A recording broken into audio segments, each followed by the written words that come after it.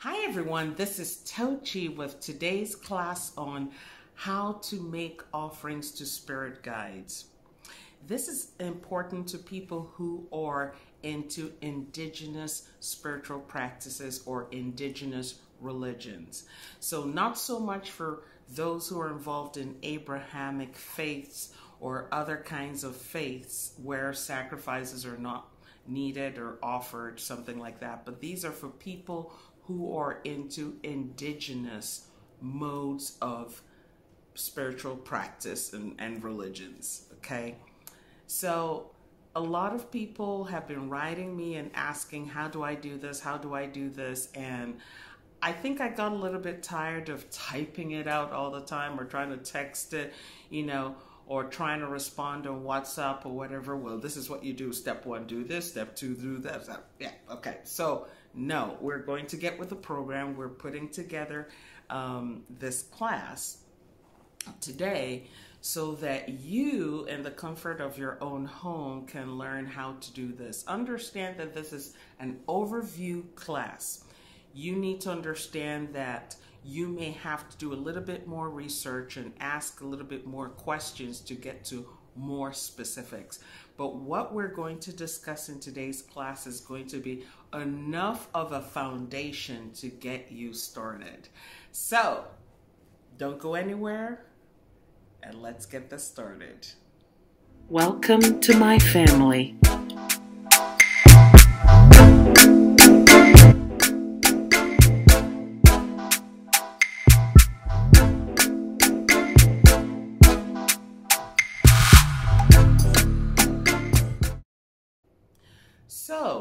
Let's get started. But as usual, before we start the class class, we have some housekeeping to do. If you need to get a hold of me, click on the link in the description below the video. You can book me for your personal readings, cowrie shells, or cards. And you can also get my products and services when you click on that link. You can also follow me on Instagram and Facebook when you click on that link.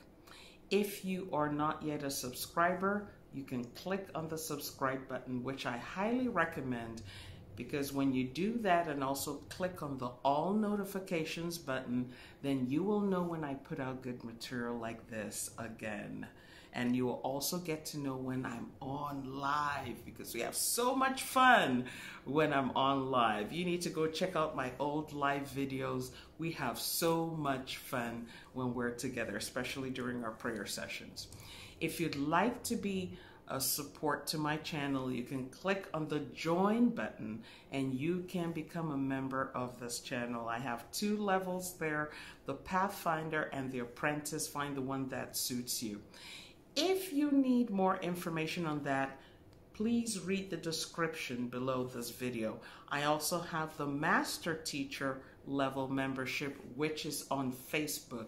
It's a private Facebook group and is subscription only and by invitation only. The details are also in the description below here. Master teachers get additional videos, additional classes, and additional support about the practical spiritual topics that we talk about here. And again, take a moment to give me a thumbs up if you do enjoy this content because it encourages me to produce more content like this. So I think we took care of all of that. And for those of you who are already members and subscribers, thank you. I couldn't do this without you. So let's get into it. Why would you want to give offerings to spirit guides in the first place? There are a lot of indigenous religions and, and spiritual paths that state that you need to give these offerings they uh, look at spirit guides or spirit entities the same way that we as human beings look at ourselves. You know, you want someone to give you something to eat, something to drink to make you feel comfortable. Okay. Sometimes you want to eat and drink together. Hence the sense of communion, eating together, having dinner together, having a meal together. And actually, when you look at Christianity and the concept of communion, having communion, the prayers inviting, the invitation, come and partake in the communion, you get to understand that even in Christianity where the communion is offered, guess what? That is also an offering. It's an offering. You are being invited by the leader as a spirit, because remember that you are, are a spirit too. You are being invited to come and partake in this communion. And communion, again, is all about eating together. Even when you're in the Catholic Church, you know, and, and the priests raise the the uh, the host, or what they call the host, which is the wafer and says, "Hey everybody, here's, you know, what we're going to share and here is what it represents." And I'm inviting you to come and partake of this because the person or the consciousness that this is represented by is also here as part of this communion or this feast or this eating together. Because the concept again is that the Christ is also there as and the saints and others are there present as the communion is being presented, prayed over, blessed, and shared. So you find out that when you look at a church like Catholic Church or Anglican Church or any place where they give communion, it is making offerings to spirit guides. I know people might call it something else or quibble with it or argue with it, but in plain English, that's what it is. You're inviting the unseen to come and eat with you. You're eating with the unseen. That's what communion is. So, indigenous religions, of course, a lot of them predate Christianity, they predate um, the Abrahamic religions and a whole bunch of other religions. There are other religions like Hinduism where also offerings are being made.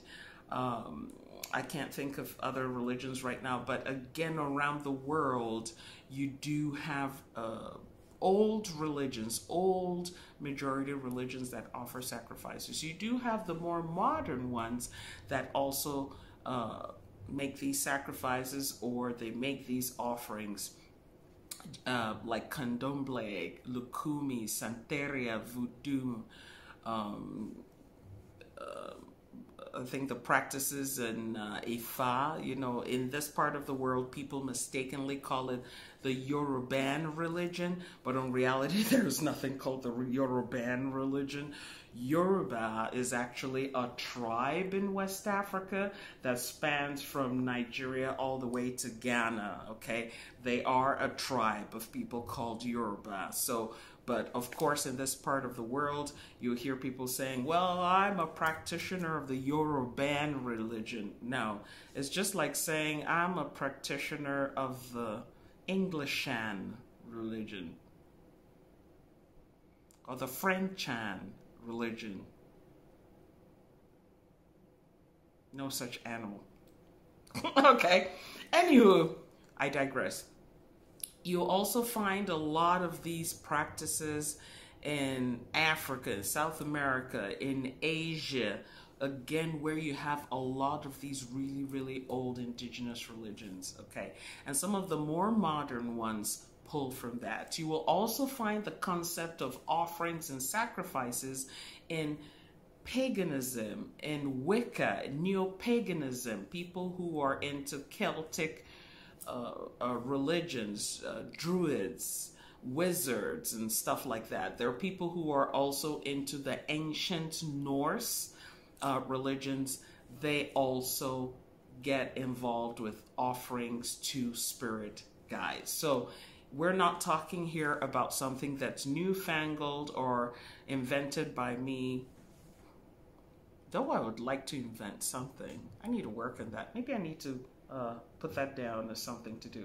Invent a new religion. Anyway, coming back to reality, okay? So this is not new. Now, the first thing we need to uh, understand is why it's done. Again, uh, like I said during the intro, people do this because it's a way of welcoming, communing with, and appreciating spirit guides. If they've been doing things for you, it only makes sense that you want to offer a token of appreciation. There is no way you could possibly feed any spirit guide or spirit entity to the point where it's satiated and it doesn't want to eat anymore. I mean, think about yourself. You can go to an all you can eat buffet and eat all you want and think you're full. Next day, you're going to be hungry. Okay, so it's the same thing with the spirits. So you offer some today, you offer some some other time. Okay. We want to make these offerings, okay, in order to make these guides more favorable to our prayers and petitions. Think about it. If someone was always coming to you and saying, Help me, help me, help me, help me, help me, help me, help me, help me, help me, help me, help me, help me, help me, help me, help me, help me, help me, help me, help me, help me, but they never gave you anything. After a while, wouldn't you get tired? I think you would. So, everybody loves a little bit of appreciation. No different with our spirit guides. There comes a point where the help me, help me, help me, help me, help me, help me, help me has to be like, hey, I need to give you something so that you are motivated to continue helping me. It also opens channels. Offerings also open channels. Because remember, again, in the universe, it's all about give and take, creation, motion of energy coming and going, coming and going. Offerings are a form of energy. So when you give offerings to spirit guides and spirit entities and beings that you work with in your indigenous uh, practice or indigenous religion, okay, you are facilitating transfer of energy back to yourself. You give, you get. You give, you get. You give, you get. Give and get. Give and get. Get the picture? I'm sure you did.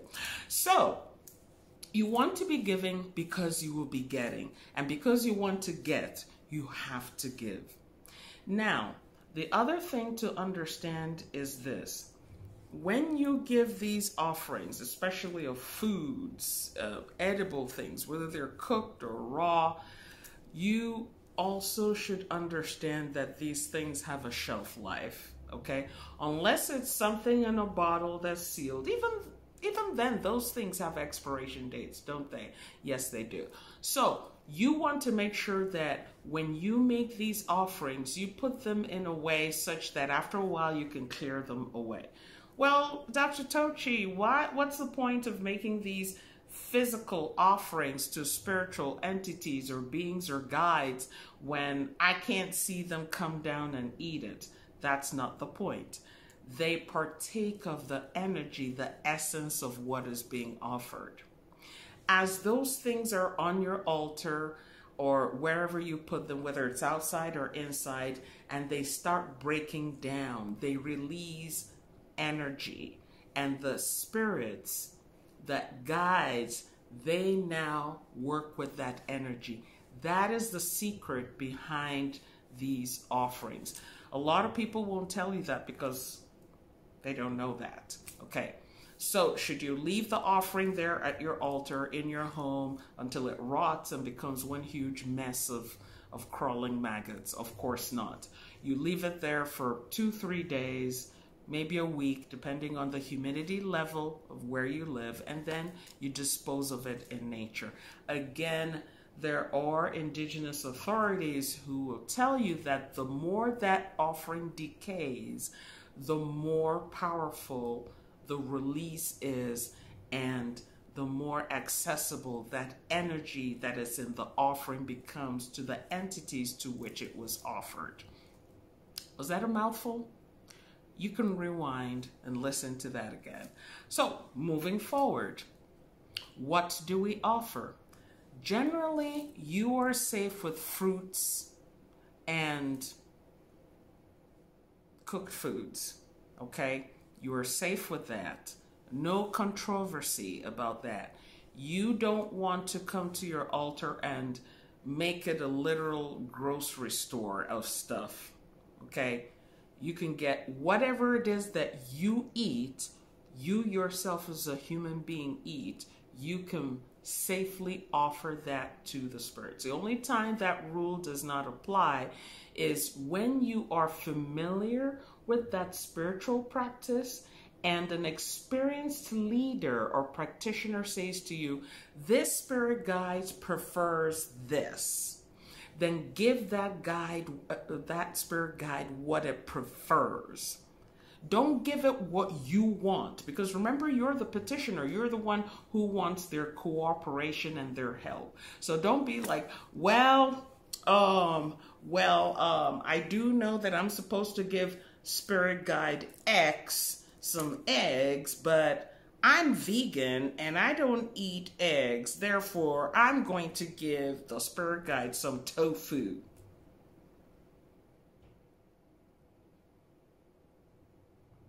Really? Really? Give that spirit guy some tofu and see what happens. Uh huh. Give the spirit what they want. If they want alcoholic beverages, give it. If they want non alcoholic beverages, give it. If they want fruits, give it. Vegetables, give it. Cooked food, give it. Meat, give it. Red meat, give it. Poultry, fish, whatever they want, give it to them. If you have not been given any restrictions in that religion or spirit, spiritual practice as to what you can give, give them what you yourself would normally eat. Some of the uh, amusing things I have heard and seen online um, are people who work with spirit guides, who work with blood sacrifice and raw meat and they turn around and say well i'm a vegan so i ain't giving um the spirit nothing blood. I'm just going to give the spirit what i think it needs to have which is fruits and vegetables. Now i was about to say would you do that with your pet? But i i, I just remembered now that actually there are some people who force vegan diets upon their pets and that's okay. If the pet is not complaining and doesn't come back and bite them in the butt in the middle of the night, I guess you and your pet, you're okay. But you need to understand that spirit guides are not pets. There's a reason why they need specific offerings if you have been told what those specific offerings are because spirit guides have specific functions. You can't ask the spirit guide of wealth to give you children. That's not its job. You can't ask the spirit guide of fertility to promote you at work. That's not its job. So, as each spirit guide has its own function, they have the specific things that work for them and work with them. So, it is in your own interest to do that research and find out for the spirit guides you are working with, the entities you are working with, what do they prefer? If you're working with a guide that prefers animal sacrifices, blood sacrifices, again, that's what you have to deal with and that's what you have to work with. You chose that path. All right, you know, we love to have fun here in class. All right. So you need to work with whatever path or indigenous religion that you are on. You need to work with the guidelines there. When it comes to ancestors who are also, they are forms of spiritual guides. In general, you can pretty much offer your ancestors whatever it is that you eat if these are ancestors that you used to know, people who used to be on this side, you can offer them things that they loved or liked to have when they were on this side. Sometimes people would offer cigarettes or tobacco or rum, whiskey, gin, you know, whatever the case may be, because they they know that when this person was on this side, that was the kind of stuff that they like. And you and you place the offering on your ancestral altar and you invite them over and say, Hey, I brought you your favorite uh Cuban cigar, and here it is with a shot of uh, whiskey or rum or whatever it is. And and believe it or not, they will respond. Either you'll get something in your dream, they'll come and visit you, or they will show you one way or the other that they have accepted these offerings. Offerings are essential for progress along these kind of spiritual paths. When you stop making these offerings or you don't offer them on time, you will find out that the petitions and prayers and the rituals and the practices that you're doing there will tend to stop as well because you have not supplied the energy that they need to do that work for you. Think of it this way. Let's say that every time you went to work, you always got a hot breakfast and at lunchtime they gave you a hot meal. Suppose they stop that and you know, you are still expected to work. Are you going to be happy working? No, you're not going to be happy working because you're going to be hungry. Yes. So give the spirits what they want. Now, Dr. Tochi, where do we place these offerings? You can place these offerings on your altar. You can place them, uh, if your altar is inside the home or outside the home, you can place these offerings there. If they're outside, obviously, you don't need to spend time curating the offering. You can leave it there, it can decay, uh, break down, go into the earth. You know, the rabbits or cats or whatever will take care of it. You don't need to worry about that. You have played your part you can't be there policing the wild animals that go out there. You know, you you really you really can't. All right. Now, another thing is there are certain uh, practices or rituals that will say to you, go place the offering on the roadside, go place it at a crossroad, go place it in an open marketplace, go place it in a body of water. Go place it inside the water or by the water. Go place it in the forest. Okay, dig a hole and put it there. Go place it in the middle of the field. It's because the specific spirit guides whom you're making that offering to, that's where they go. That's where they go. So you want to take it to them there. If that's what is dictated in your spiritual or religious practice, then that's what you have to do. If they say, okay, put this thing together, go place it under a tree, this specific kind of tree, or go put it at the shrine, or go put it at this, uh, you know, wherever it is, understand that that's the requirement for that indigenous practice. That's where you need to put it because, according to their experience and their knowledge, that is where the spirit guide or the spirit entity that they're working with, that's where it goes. So you want to take your offering there where it goes. And then when you go there, get there and place it there, you make your petition and go about your way. Don't put your, for instance, if you've been told go and place it at the roadside or at an intersection like a four, uh, you know, four way or T junction, three way, don't go there and place it and say, okay, where are you at? Where are you at? Food's here, food's ready. No, you place it and you leave it. what happens to it after that is none of your concern. It's none of your business, okay? Have fun with it. Go there, you know, thanks, say thanks for, you know, listening to me, hearing me, and helping me out. Here's your offering, and please accept it as presented. You know, a lot of times we don't make offerings perfectly. Sometimes we forget something or miss something or do it in the wrong way. And let them know and say, hey, I'm doing this, you know, to the best of my ability. So please don't count it against me that this is not perfectly done. And put it there. The heart, the intention, it matters. Okay. A lot of spirits congregate according to these authorities, a lot of spirits tend to congregate at crossroads, at intersections, in public places. A lot of unfed spirits also congregate in these places as well. So let's say, for instance, someone has not been taking care of their guardian spirit, their ancestors, or other spirit guides who've been assigned to help them they would congregate at intersections and public places just looking to see is there anybody else who is presenting an offering? And then they will partake in that offering. Well what's the downside of that? If you're not taking care of your spirit guides you're not taking care of your guardian spirit you're not taking care of your ancestors and someone else is doing that I have a feeling that some of the spiritual support you're getting might be reduced because of that.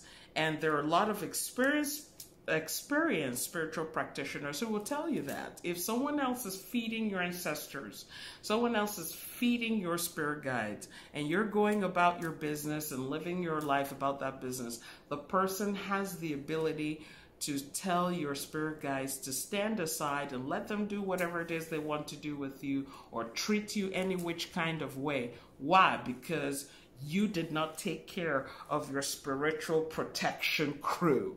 Okay? Imagine that you had bodyguards and you weren't feeding them. How long do you think they're going to hang around you continue to continue protecting you?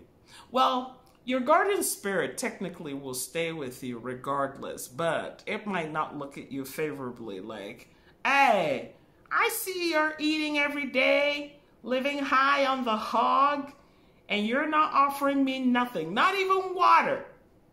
Okay, I'm gonna teach you a lesson. I'm gonna let Johnny over here bash you over the head. Maybe you might gain some sense.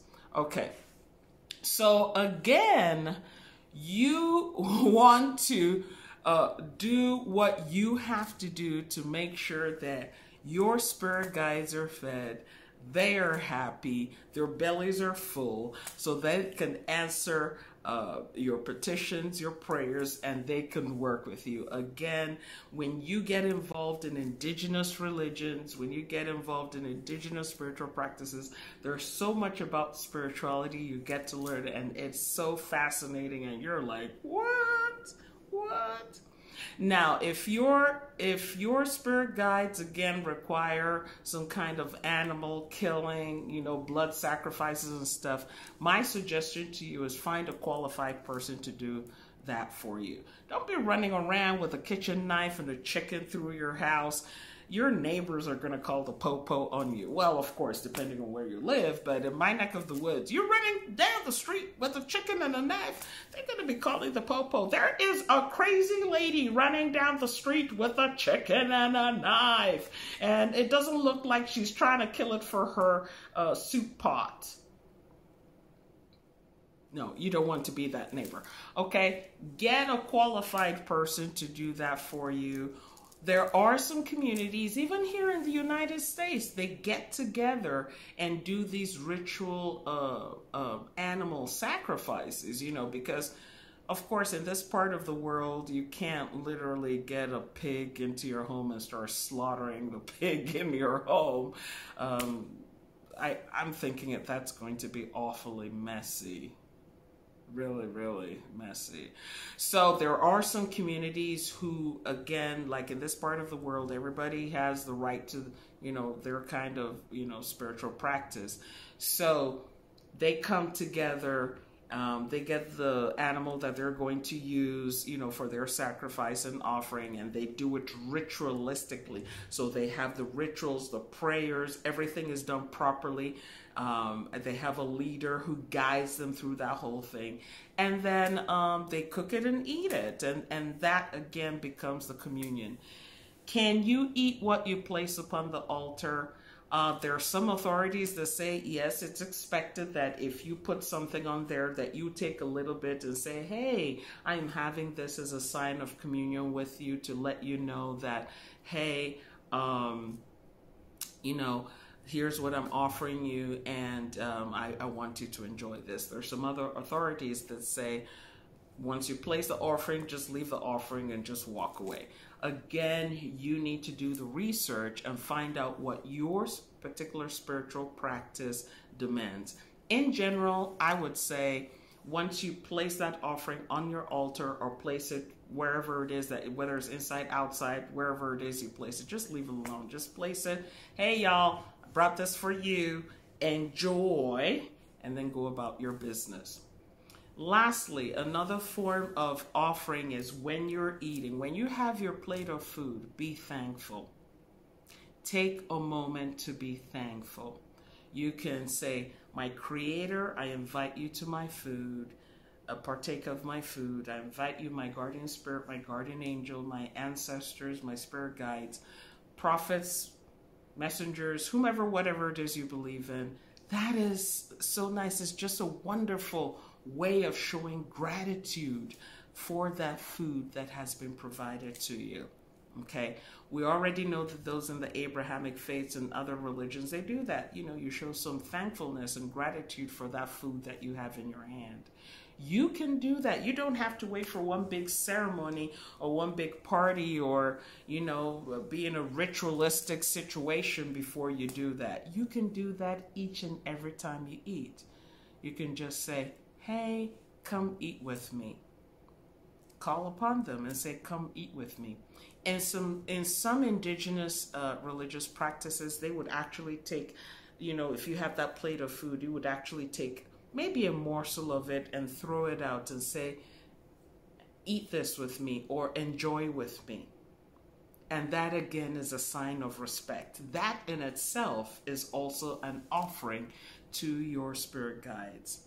So I know this has been a little bit long class, but I really wanted to get into great detail with this information because oh, just getting into it and researching it and just speaking with a lot of people and practitioners about what they do and how they do, and then trying to synthesize that into this little class. I mean, that in itself is a challenge. This is such a huge area where, again, when you look at the plethora of indigenous spiritual and religious practices around the world in Europe and Africa and Asia, South America, North America, and Australia. Wherever you have indigenous populations, you will find offerings being made to spirit guides. So it's not something strange, it's not something weird, it is something that is being done because it works. So, as usual, we will end our class with our invocation. We're thankful to our Creator, our guardian spirit, our guardian angel. We're thankful to our ancestors, spirit guides, the messengers, the prophets, and all those in the unseen realms who help us unselfishly. They help us 24 7, 365 whenever we call. Let us be shown ways in which we can make tangible and intangible offerings that will please you all and encourage you to keep on helping us. Ashe.